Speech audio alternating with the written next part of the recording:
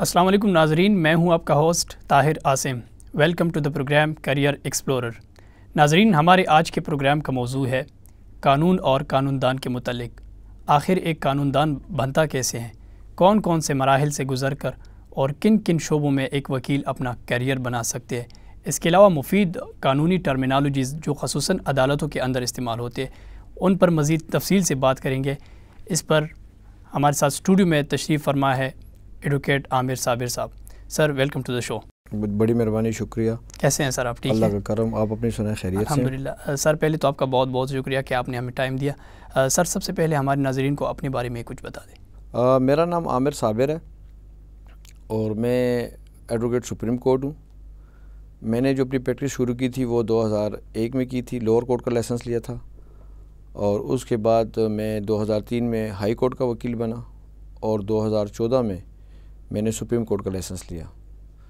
और इस दौरान मैं जो हूँ, पेशावर बार एसोसिएशन का कैबिनेट मेंबर और जॉइंट सेक्रेटरी रहा, इलेक्ट, इलेक्शन कंटेस्ट के हाई कोर्ट बार का कैबिनेट मेंबर रहा और सुप्रीम कोर्ट बार का एग्जीक्यूटिव मेंबर मेरा सर, कोई भी नौजवान जब बतौर क़ानूनदान अपना करियर शुरू करना चाहें तो किन किन मराहल से गुज़र कर और वो इस फ़र्द इस काबिल बनता है कि वो अपने आप को एक पेशावर वकील या क़ानूनदान तस्वर कर सके? देखें वकालत नहायती इज़्ज़त वाला पेशा है। ये माशरे में उन पिसे हुए लोगों की मदद करता है कि जिनके हकूक़ ालिम गासिब कर लेते हैं। ये मज़लूमों की पुकार को अदालत तक पहुँचाने का एक ज़रिया है। गरीबों, लावारिस, मोहताज, बेबस लोगों की एक मज़बूत आवाज़ बनती है वकील। वकील बनने के लिए आपको ऑफ़ कोर्स उसकी जो क्वालिफ़िकेशंस हैं matric F L L B ये आप, लाजमी चीज़ है, ये आप करेंगे एकेडमिक क्वालिफ़िकेशन आपको करनी पड़ेगी। उसके बाद फिर आपको इनके टेस्ट होते हैं लॉ गेट का, वो आप पास करेंगे। आप फिर आएँगे वकालत के शुबे में जब आपको लॉ आपने पास कर लिया। उसके बाद फिर आप आएँगे के बी बार कौंसल के पास।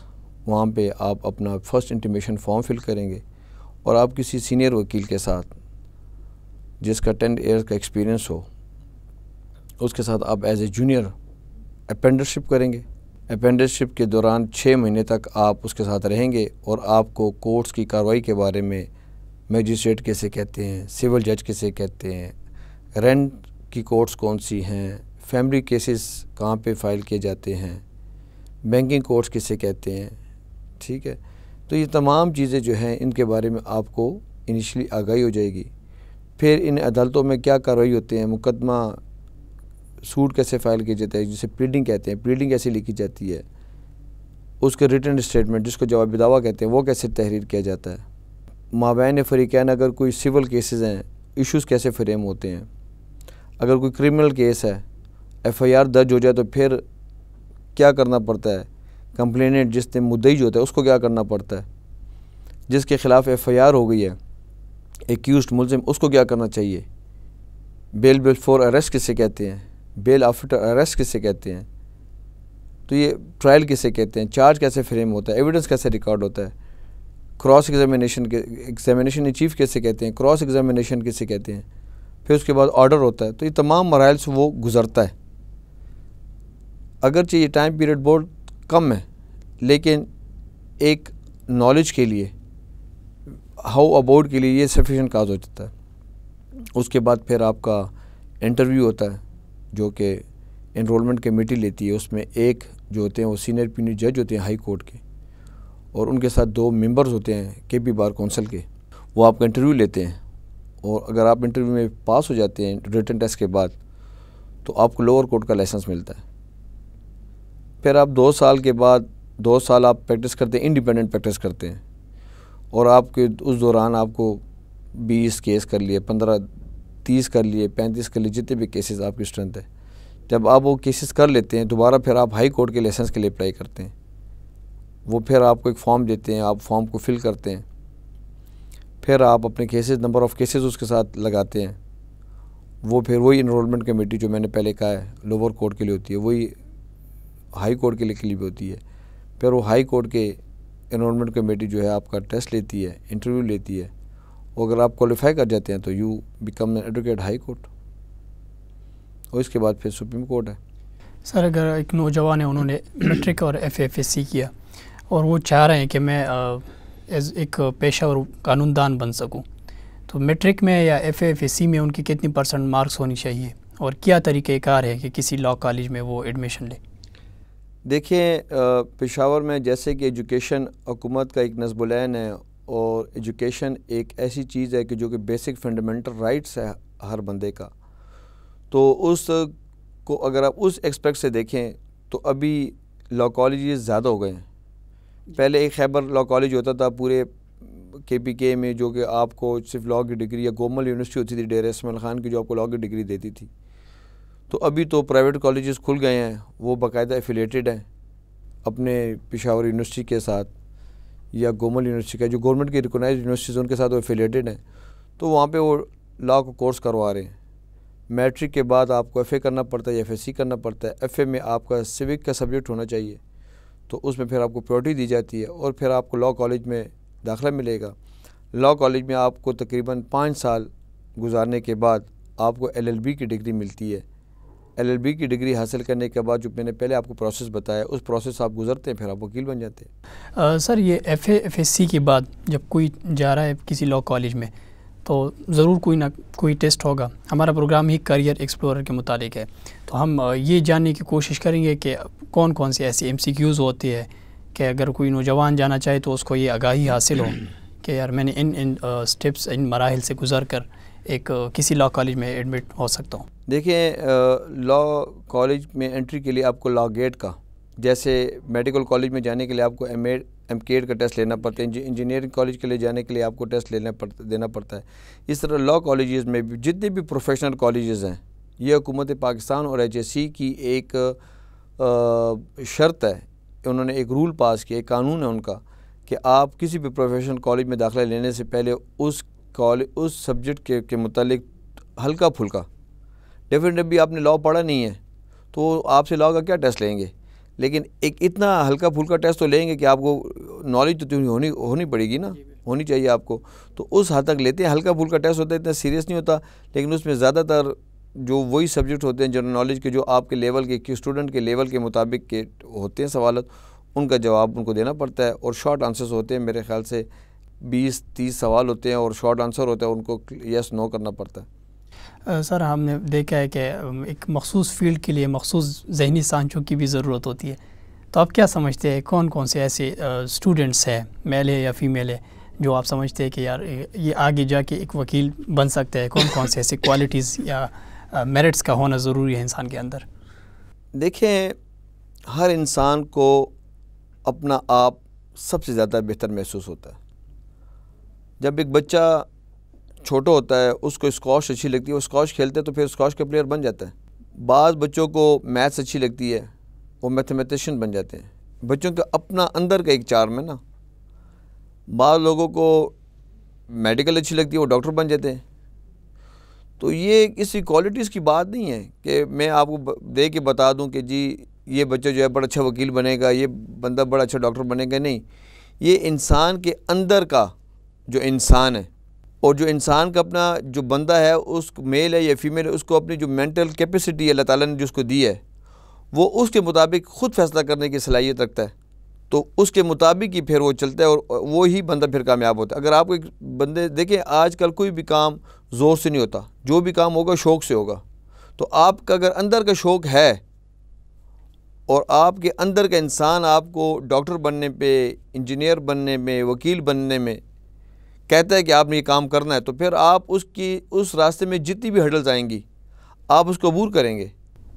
जी बिल्कुल। ठीक है ना? तो वो कहते हैं ना कि अगर आपको शौक़ होगा तो आप फिर हर काम करेंगे। लेकिन अगर आपको शौक़ नहीं है तो ज़ोर से तो कोई काम नहीं करेगा। आप तो वो काम की तरफ़ करीब भी नहीं जाएँगे। उसमें तो फिर आप इतनी मसले मसाइल पैदा करेंगे कि आपको कहने वाले भी तंग हो जाएगा कि कहेगा आखिर में बस ये काम तो मत करो तो बेहतर है। तो आपके अंदर इंसान का अपना शौक़ होना चाहिए स्टूडेंट का अपना शौक़ होना चाहिए उसको खुद पता होता है कि मैंने किस तरफ़ जाना है।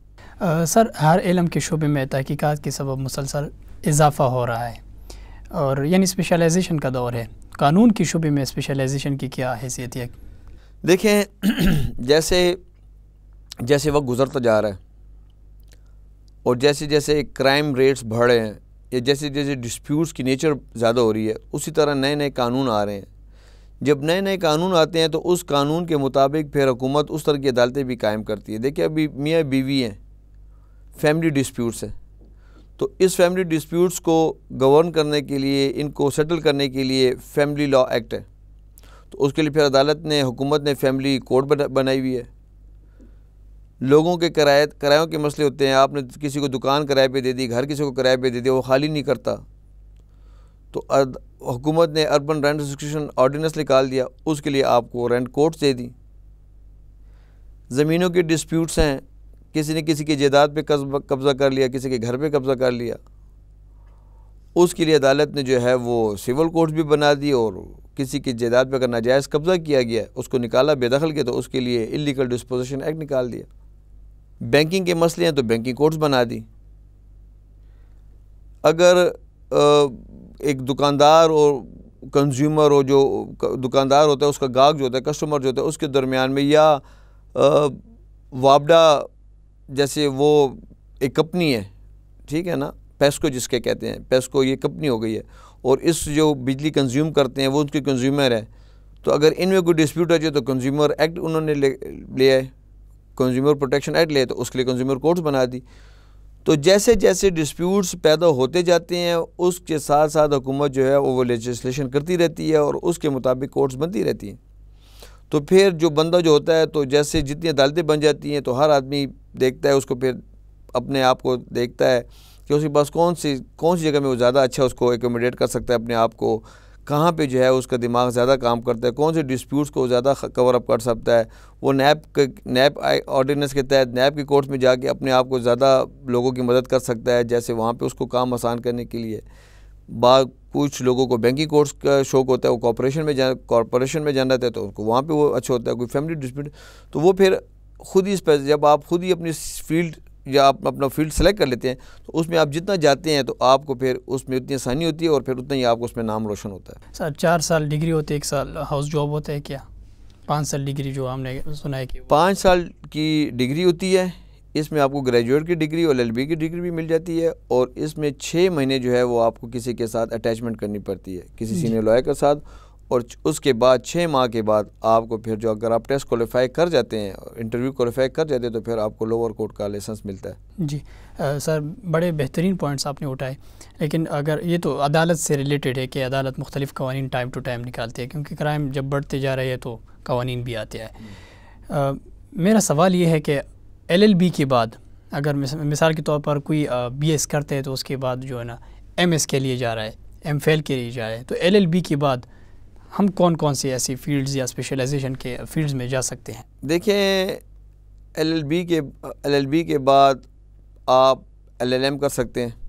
एलएलएम जो है फिर वो स्पेशलाइजेशन है।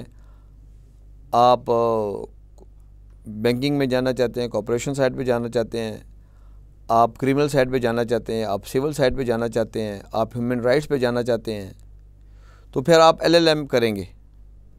ठीक है? एलएलएम के बाद फिर अगर आप मज़ीद उसमें जाना चाहते हैं तो फिर आपको जो है वो पीएचडी करनी पड़ेगी। वकालत में पीएचडी डेफिनेटली जो हैं अक्सर लोग करते हैं इसमें। जितनी ज़्यादा फ़ील्ड आप जाते जा देखिए तालीम का तो कोई स्टॉपेज नहीं है ना। इलम हासिल करने के लिए तो कुछ वो तो ये तो समंदर है। जितना आप समंदर की गहराई में जाएँगे उतना आपको इल्म मिलता रहेगा। स्टॉप तो किधर भी नहीं है। सिर्फ़ एलएलबी करने के बाद तो आप नहीं ये नहीं समझ सकते कि बस मेरी तालीम का हासिल करना ख़त्म हो गया आप तो आगे जा सकते हैं। बिल्कुल। वकील को तो रोज़ाना पढ़ना पड़ता है। हर महीने नए केसेस आते हैं डिसाइड होते हैं। हर महीने हमारे जर्नल्स आते हैं।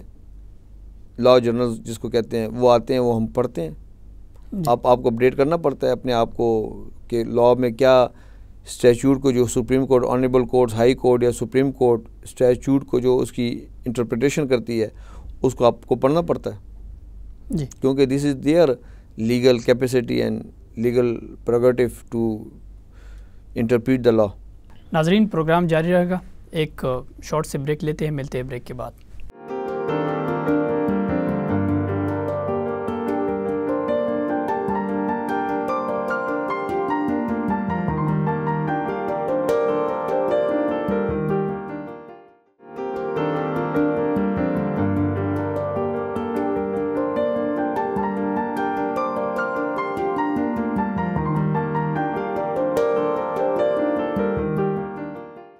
Welcome back to programme career explorer with Tahir Asim नाजरीन हमारी बात चल रही है कानून और कानूनदान के मतलब सर, मेरा सवाल ये है कि एक कानून आखिर बनता कैसे है? जिस तरह आपने बात की कि क्राइम रेट क्राइम जब नई नई क्राइम्स आती है तो उसके लिए कानून बनते हैं। असल में जो मेन एसेंस है एक कानून बनने के पीछे, वो क्या है और किस तरह एक कानून वजूद में आता है? देखें कानून हमेशा आवाम की फलाह बहबूद के लिए उनकी डेवलपमेंट के लिए उनकी सिक्योरिटी के लिए बनता है। उनकी जो बेसिक राइट्स हैं उनको डिफेंड करने के लिए बनता है। जैसे कि आपको पता है कि हर मुल्क का एक आइन होता है जो कि उसके सुपीरियर कानून होता है। जी। बहसीत मुसलमान कुरान पाक हमारे लिए सबसे अफजल तरीन किताब है हदायत की भी और मशल ज़िंदगी के लिए भी। तो हमारा जो आइन है, वो भी, उसमें भी लिखा हुआ है कि इस मुल्क का जो सुप्रीम लॉ होगा, वो कुरान शरीफ होगा। अल्लाह ताला के अहकाम होंगे। लिहाजा जो भी आइन बनता है, जो भी कानून बनता है तो उस आइन के मुताबिक बनता है। अभी कानून दो किस्म के होते हैं। एक फेडरल कानून होता है और एक सूबाई होता है। जो फेडरल कानून होता है, वो आपका पार्लियामेंट बनाती है, जिसको नेशनल असम्बली और सेनेट कहते हैं। जो सूबाई प्रोविजनल कानून होता है, वो आपकी सूबाई असम्बली बनाती हैं। ठीक अभी पिशावर के बी के सिंध बलूचिस्तान, ठीक है, और, पंजाब। इसके जो कानून साज इदारे हैं, सूबाई असम्बली हैं, लेजिस्लेचर जिसको कहते हैं, असम्बलीज़ हैं, वो अपने सूबे के हालात व वाक़ात को देखते हैं कि इसमें कौन से क्राइम की रेशो जो है, वो बढ़ रही है। कौन से सिविल डिस्प्यूट जो है, माबैन फ़रीक़ैन बढ़ रहे हैं, और आया वो जो का, जो क्राइम बढ़ रहा है, या जो सिविल डिस्प्यूट्स लोगों के माबैन बढ़ रहे हैं, या डिपार्टमेंट्स गवर्नमेंट के जो इदारे हैं, उनकी कारकर्दगी को बेहतर करने के लिए कोई अगर कानून साजी करनी है तो वो किस तरह करनी है? तो फिर वो लॉ डिपार्टमेंट वो एक कानून साजी एक ड्राफ्ट बनाता है, वो असम्बली में आती है, उस पर बास मुबासा होते हैं। डेफिनेटली आपके जो रिप्रेजेंटेटिव्स होते हैं वो आवाम से ही गए उनके चुने हुए लोग होते हैं, वो वहाँ पे अपने ख्याल का इजहार करते हैं, अपने एक्सपीरियंस का इजहार करते हैं, उस कानून को पढ़ते हैं। अगर उसमें कोई चेंजेस करनी होती हैं, वो चेंजेस कर देते हैं। कोई नया कानून बनाना होता है तो कानून बना देता है। अगर किसी कानून को ख़त्म करना होता है, वो कानून ख़त्म कर देते हैं। और इसी तरह सेम प्रोसीजर जो है वो नेशनल असम्बली में और सेनेट में भी होता है। तो कानून बनता भी वहीं पे है, जो आपके रिप्रेजेंटेटिव्स होते हैं, सूबाई असम्बली में प्रोविंशल असम्बली में या नेशनल असम्बली सेनेट में तो कानून वहाँ पे नए कानून भी वहीं पे बनते हैं, मुल्क के हालात को मद्दनज़र रखते हुए। तमाम तमाम हालात को, ठीक है जी? और उधर से अगर देखते कि कोई कानून बना हुआ है, उसमें कोई चेंजेस करनी है तो वो भी वहाँ पे भी, तरमीम भी वहाँ पे होती हैं। और समझते हैं कि किसी कानून को ख़त्म करना है तो वो ही वहीं पे ख़त्म होती है। तो कानून जो बनता है, वो मुल्की हालात को, अमन व अमान को देख कर नीड ऑफ़ द पीपल को देख कर नीड ऑफ़ द डेवलपमेंट को देख कर जो इदारे, जो गवर्नमेंट के इदारे जिसको कहते हैं, जो उनको इंस्टीट्यूशंस हैं, उनको देख कर तो गवर्नमेंट जो है वो एक कानून बनाती है या उसके बारे में यही मेम्बरान जो होते हैं, वो हुकूमत को उस पर तोज्जो दिलाते हैं कि जी आपके मुल्क में ये क्राइम हो रहा है। या ये काम हो रहा है, इसका कोई कानून नहीं है। तो फिर हुकूमत का काम है, जो लेजिस्लेचर्स होते हैं, उनका काम होता है, वो कानून बनाते हैं। जी। सर जहाँ तक अगर हम देखें, कल्चर भी एक किस्म का कानून है। अकदार है वैल्यूज़ सकाफ़त होती है। मुख्तलिफ़ ऐसे इलाके हैं पाकिस्तान में, जहाँ पर जरगा सिस्टम होता है, जिस तरह फाटा में, या और ऐसे कई इलाके हैं ना, वहाँ पे दूसरे कानून का लाना या पहले कानून को जो है ना, हदफ करना, ख़त्म करना तो ये एक टास्क नहीं है वहाँ से फिर देखें बात ऐसी है कि कानून की जो किताब पढ़ते हैं उनका पहला सबक ये होता है कि कस्टमरी लाज जिसको कहते हैं रिवायात रिवाज। रिवाज।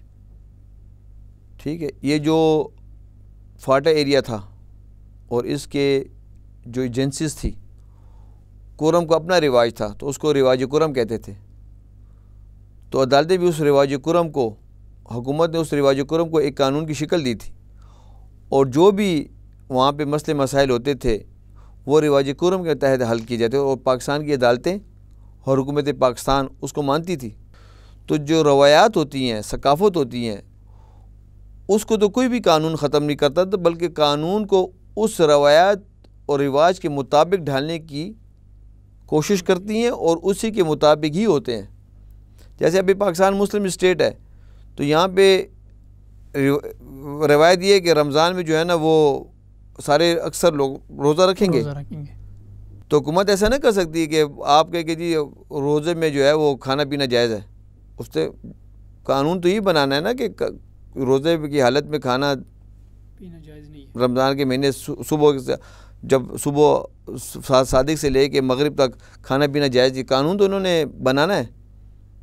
अगर उस कानून की कोई वायलेशन करे तो उसकी फिर इम्प्लीमेंटेशन के लिए इदारे होते हैं जो कि कानून बनाना लेजिस्लेचर का काम है। ठीक है? जी। उसको इम्प्लीमेंट करना इदारों का काम है और उस इम्प्लीमेंटेशन में किसी के साथ कुछ ज़्यादा हो रही है तो उसको देखना अदालत का काम है। तो ये तीनों जो है ना ये लाजम व मलजूम चीज़ें इंटरडिपेंडेंट सर अक्सर हम ये लफ्ज़ बार बार सुनते हैं कि कानून नाफिज करने वाले इदारे, कानून नाफिज करने वाले इदारे। कौन से इदारे हैं कानून नाफिज करने वाले? देखें, कानून में लिखा होता है, जैसे अमन व अमान है। तो अमन व अमान जो है, वो पुलिस का काम है। अगर आप किसी को कत्ल करते हैं, या किसी के घर चोरी हो जाती है, या किसी के घर पे या ज़मीन पे जायदाद पे नाजायज़ कब्ज़ा हो जाता है तो उसमें पुलिस हरकत में आ जाती है। ठीक है? तो ये इदारे होते हैं। अभी बैंकिंग का किसी ने कोई बैंक से लोन ले लिया और वो भाग गया और बैंकिंग लॉ के मुताबिक ये लिखा हुआ है अगर उसमें कि अगर कोई बैंक के पैसे लेके भाग जाता है या वो डिफ़ॉल्टर हो जाता है तो उसमें बैंक जो है वो जाएगी बैंकिंग कोर्ट में। बैंकिंग कोर्ट देखेगी कि अगर बैंक का वाकई ये बंदा जो है ये बैंक के पैसे लेके भाग गया तो फिर वो जो अदालत ऑर्डर करेगी। कंसर्न बैलिफ को ऑर्डर करती है या किसी को भी ऑर्डर करती है जो कि उससे जाके उसकी प्रॉपर्टी को ऑप्शन करें। जी। तो जो आदमी कानून को नाफिज करता है उसको कानून नाफिज करने वाला ही इदारा कहता है जो आदमी जो भी इदारा जिस कानून को नाफिज करेगा जिसकी ड्यूटी होती है जैसे आप बाज़ारों में जाते हैं और देखते हैं कि जी रोटी का वज़न कम है तो ये डिप्टी कमिश्नर हो गए मजिस्ट्रेट्स हो गए असिस्टेंट कमिश्नर हो गए इनकी ड्यूटी है कि आप जो है वो रोटी के वज़न को चेक करेंगे। ये लेबर ये फ़ूड डिपार्टमेंट वाले हो गए। तो यही जाके देखते हैं कि भाई इनकी ड्यूटी है ना कि इन्होंने देखने के बाज़ार में कोई गंदी चीज़ें तो नहीं बेच बेच रहा कोई हाई हाइजीनिक किस्म की चीज़ें तो नहीं है कुछ वज़न में जो लोगों को जो एकोमोडिटीज़ मिल रही है उसमें कोई कमी बेशी तो नहीं कमी बेशी तो नहीं है। अगर है तो उनको वो ठीक करने के लिए लोगों को जुर्माना करेंगे उनको सज़ाएँ देंगी। तो ये ना कानून नाफिज करने वाले लोग हैं। जी। सर, चूँकि हमारा प्रोग्राम ही करियर के चुनाव से मुतलिक है तो वकील बनने से पहले एक नौजवान को ये भी पता होना चाहिए कि इसके एम्प्लॉयमेंट रेट यानी रोज़गार की शरह क्या है और इसके अलावा एक नया वकील अमूमन कमाता कितना है। देखिए सर, बात ऐसी है कि वकील हो कि डॉक्टर हो कि इंजीनियर हो, या एक दुकानदार हो, जब वो प्रोफेशनल लाइफ में आता है, अपनी स्किल को लेके आगे आता है तो उसको ये पता नहीं होता कि आज मैं कितना कमाऊँगा। वो तो अल्लाह के भरोसे पर और उस अक्ल और हिम्मत पर जो कि अल्लाह ताला ने उसको अनायत की है, उसके मुताबिक अपनी दुकान खोल लेता है, अपना क्लिनिक खोल लेता है, अपना ऑफ़िस खोल लेता है और फिर अपनी महारत के साथ, अपनी कैपेबिलिटी के साथ जो अल्लाह ताला ने उसको दी हुई है, वो लोगों में अपना अतमाद मुकम्मल करता है। लोगों के मैार के मुताबिक पूरा उतरता है। उतरने की कोशिश करती है उसका मुल्क में इलाके में शहर में नाम हो जाता तो फिर तो लोग उसके पास सिफारशें लेके आते हैं कि हमारा काम करें। लेकिन अगर एक बंदा जो है वो कुछ करे ही ना डॉक्टर है उसका कोई वो किसी मरीज़ का इलाज ही ना कर सके उस, उससे हाथों को ठीक ही ना हो रहा वकील जो सारे केसेस हार है उसको कानून की समझ ही नहीं है तो उसके पास फिर कौन आएगा? उसको तो मेरे ख्याल से फिर ख़ुद ही जो है एक दिन कहेगा, जी, बस ये वकालत, शकालत जो है ना, मेरे बस की काम बात नहीं तो मैं खुद जाके किधर एम्प्लॉयमेंट करता हूँ। तो इसमें एम्प्लॉयमेंट रेट इस तरह नहीं है जैसे आप समझते हैं कि आप किसी को जॉब दे देंगे या आपको कोई सैलरी देगा। इसमें आप अपनी महारत को साबित करेंगे, अपना लोहा मनवाएँगे तो फिर आपको इन ताला इसमें किसी किस्म की कोई परेशानी लाक नहीं होगी। जहाँ तक हमने वकील का नाम सुना है तो अदालत सुप्रीम कोर्ट, हाई कोर्ट, कचहरी के साथ ही सुना है। इनके अलावा और कौन के कौन कौन से ऐसे शोबे हैं जिसमें कोई भी कानूनदान एडवोकेट या वकील अपना करियर बना सकते हैं? देखें मुझे तो ऐसी कोई फ़ील्ड नज़र नहीं आती कि कानून के अलावा वकील के तरह जाके अपनी फ़ील्ड बना लेगा। अगर आप एक वकील हैं और आप वकालत छोड़ देते हैं तो उसके बाद आप कोई बिज़नेस कर सकते हैं, उस पर कोई पाबंदी नहीं है। लेकिन बहसीत वकील आप तो वकालत में ही आप रहेंगे अदालतों में ही आप रहेंगे।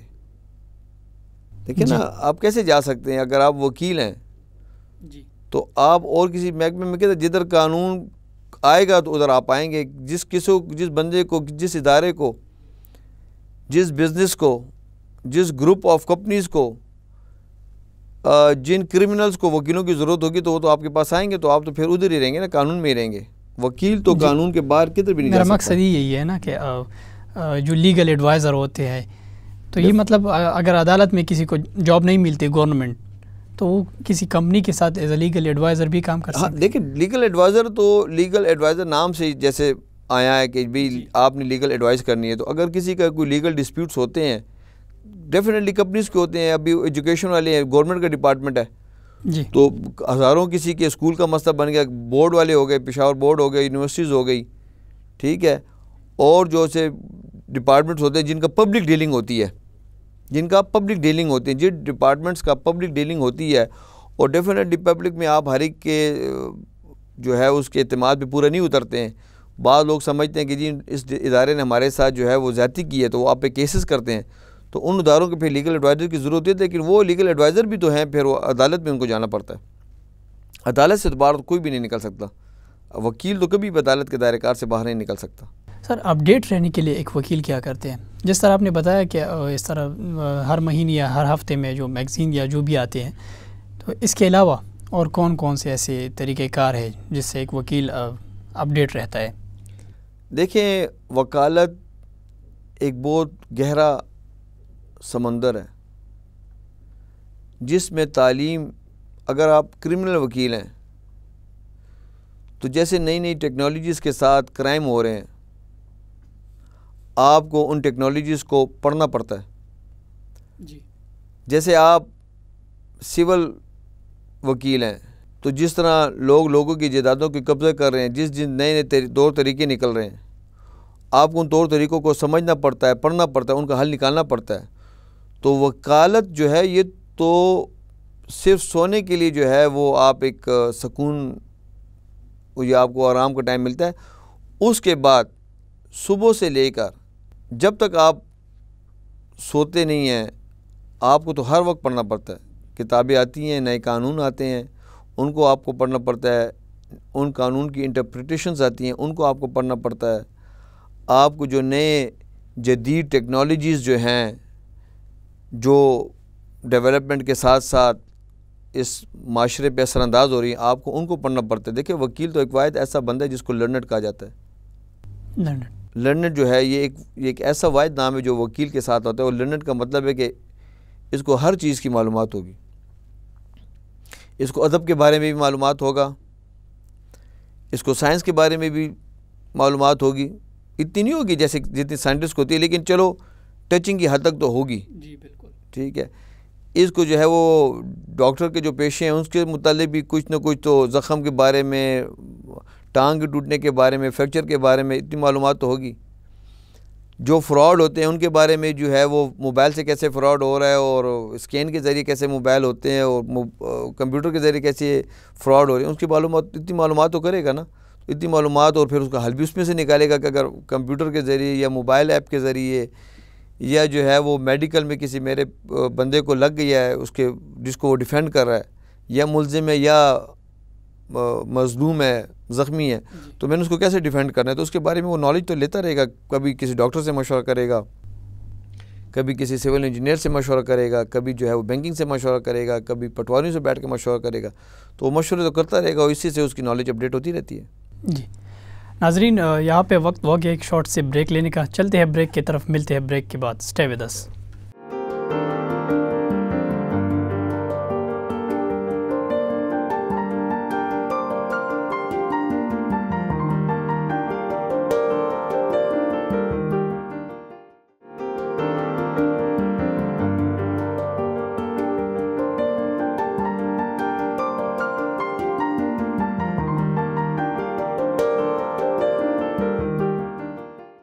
welcome back to program career explorer with Tahir Asim. Sir, शाम क्या है? क्या खसूसियत है? इस मतलब कोई भी अगर एलएलबी में जाना चाहे या कानूनदान बन सके तो इसकी क्या खसूसियत है? देखिए सर, आसिम भाई, बात ऐसी है कि लॉ जो है ना, ये एक बड़ा खूबसूरत प्रोफेशन है। ये वाद प्रोफेशन है कि पढ़े लिखे लोग भी आपकी इज़्ज़त करेंगे। आपके साथ वो बैठ के मसले मसाइल अपने डिस्कस करेंगे। क्योंकि मसले मसाइल तो हर के साथ होते हैं। अफसरों के साथ भी होते हैं, ज़मींदारों के साथ भी होते हैं, गरीब के भी मसले मसाइल होते हैं, मालदार के भी मसले मसाइल होते हैं, औरतों के भी होते हैं। दुनिया, इस दुनिया में, माशरे में जितने लोग रहते हैं, मसले मसाइल तो सबके साथ होते हैं। तो वो चाहे अनपढ़ है या पढ़ा लिखा है, वो अफसर है कि बेरोज़गार है, वो मर्द है कि औरत है। वो शादी शुदा है कि गैर शादी शुदा है? तो इन तमाम लोगों के जब मसले मसाइल होते हैं तो वो फिर वकला के पास आते हैं। तो आप के पास आते हैं और आपकी अक्ल और दानिश के मुताबिक आपसे मशवरा लेते हैं। तो चार्म इसमें वकालत में है कि माशरे के हर फ़र्द के साथ, हर किस्म के फ़र्द के साथ आपका ताल्लुक़ और इंटरेक्शन रहता है। तो आप जो है उनके साथ मिलते हैं, हर बंदा आपकी इज़्ज़त करता है, आपको इज़्ज़त की निगाह से देखता है। और आप लोगों के हालात से वाकिफ़ हो जाते हैं, फिर आप उनको मुफीद मशवरे देते हैं। अदालत में जाते हैं तो आपको एक इज़्ज़त मिलती है, जज साहिबान आपकी इज़्ज़त करते हैं। यही वकला जो होती हैं, ये फिर सिविल जज बन जाते हैं अपनी क्वालिफ़िकेशन के मुताबिक, एडिशनल सेशन जज बन जाते हैं अपनी क्वालिफ़िकेशन के मुताबिक। हाई कोर्ट के जज बन जाते हैं डायरेक्ट, हाई कोर्ट से सुप्रीम कोर्ट चले जाते हैं। तो इसमें चार इस प्रोफेशन में तो चाम तो बहुत ज़्यादा है।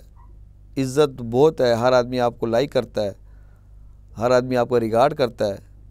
हर आदमी आपसे तो रखता है कि ये आप उससे ज़्यादा समझदार हैं। आप उससे ज़्यादा पढ़े लिखे हैं। आपको उससे ज़्यादा नॉलेज है। तो ये तो है इस इस प्रोफेशन में जी।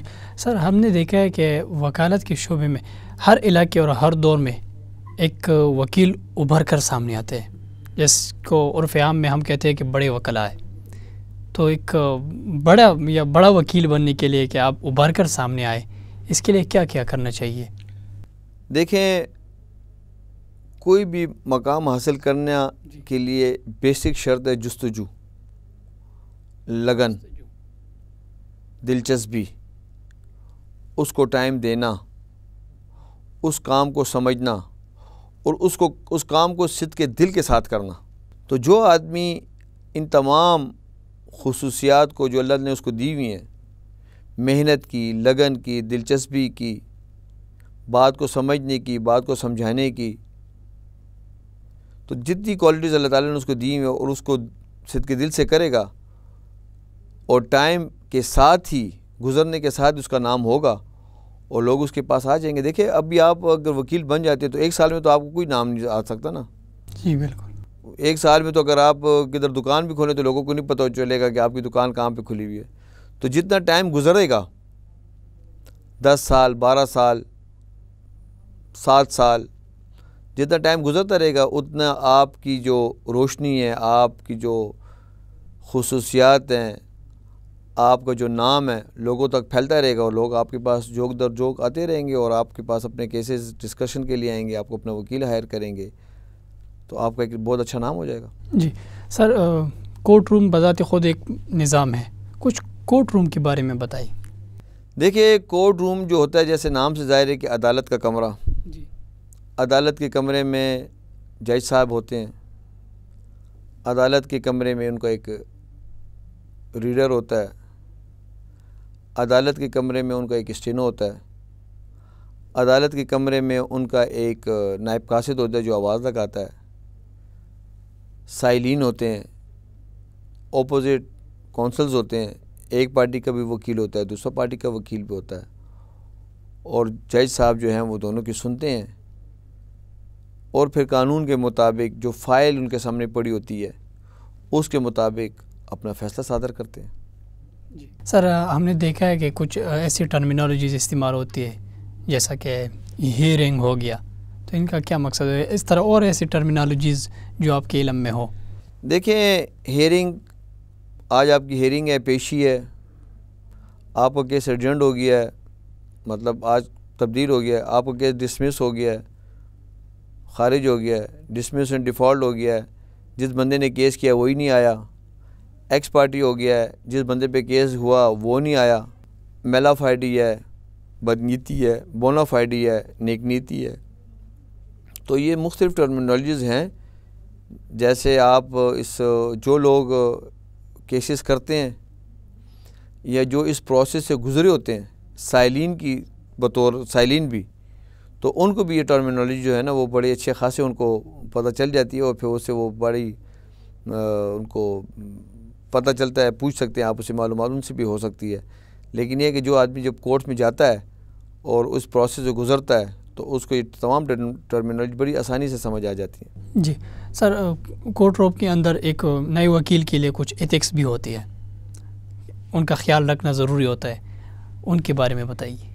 देखें वकील का एथिक्स जो होता है ना ये बाकायदा एक हमारा एक्ट है।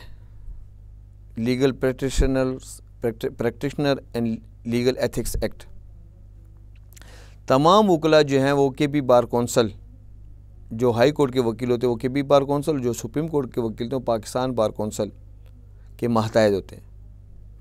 वो हमारी बदर बॉडी होती है। अगर हम अपने लीगल एथिक्स के ख़िलाफ़ जाएँगे, या कोई वकील अपने लीगल एथिक्स के ख़िलाफ़ कोई ऐसी हरकत करेगा तो के बी बार कौंसल और पाकिस्तान बार कौंसल को एज़ द केस में भी उनको ये इख्तियार हैं बाय लॉ के तहत कि वो हमारे जो हैं हमारे ख़िलाफ़ एक्शन ले सकती हैं, हमारे ख़िलाफ़ कार्रवाई कर सकते हैं इवन कि हमारा लाइसेंस वकालत का कैंसिल कर सकते हैं। वकील का लीगल एथिक्स तो यही है कि उसने अदालत को फ़ाइल के मुताबिक और कानून के मुताबिक असेस करना है।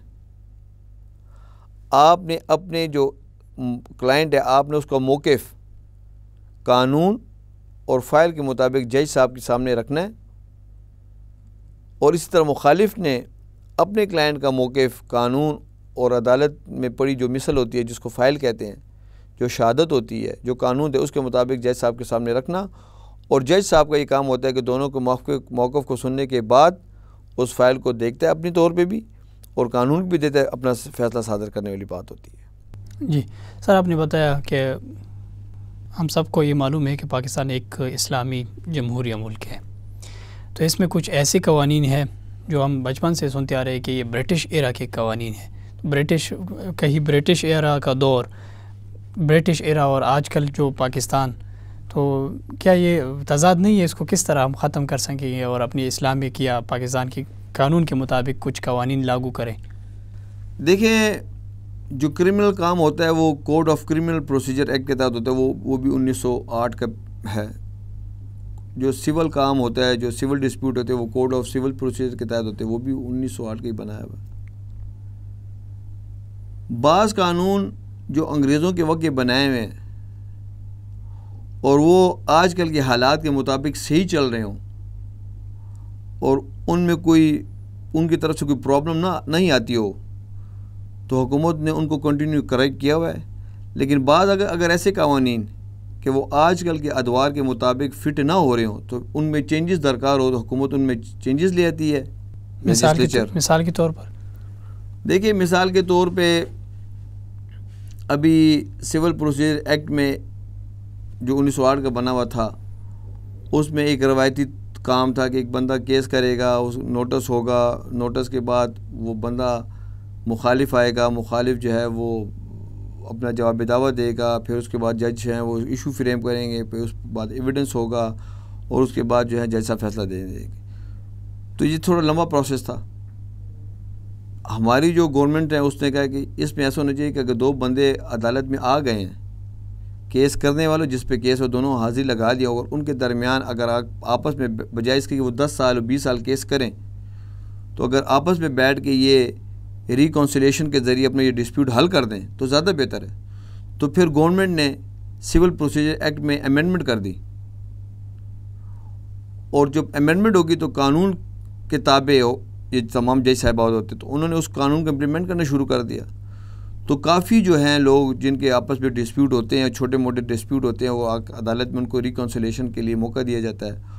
और उस रिकॉन्सिलेशन के टेबल पर बैठ के अपना मसाइल हल कर देते तो बजाय इसके कि वो दस साल केसेस करते तो वो एक दो तारीख़ों में या एक दो महीने में उनका मसला डिस्प्यूट हल हो जाता है। सर ये तारीख़ पे तारीख़ देना अक्सर आवाम इससे मायूस भी हो, हो जाती है कि यार हर जगह जब भी जाए तो तारीख़ पे तारीख़ देती है। तो इसके पीछे कोई लॉजिक है? क्या वजह है?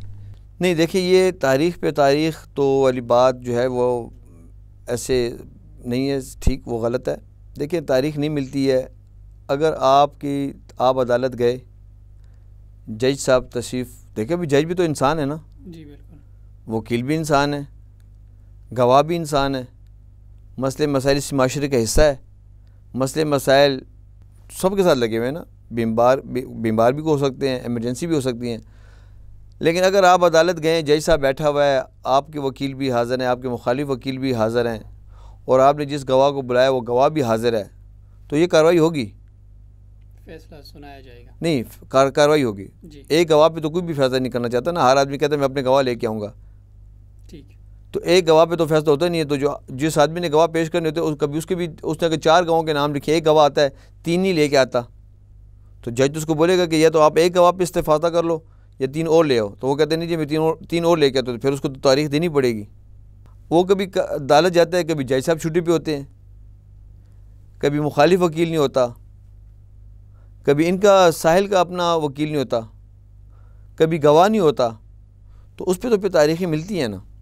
जी बिल्कुल। उस पर तो अदालत का कोई कसूर या वकील का कोई कसूर नहीं है। Sir last but not but not least वो हमारे वो ऑडियंस जो चाह रहे हैं कि मैं कानूनदान बनूं या उनकी डिग्री चल रही है बनने जा रहे हैं कानूनदान वकील बनने जा रही है आप अपनी इस तेईस चौबीस साल एक्सपीरियंस के मुताबिक उनको क्या सजेस्ट करेंगे?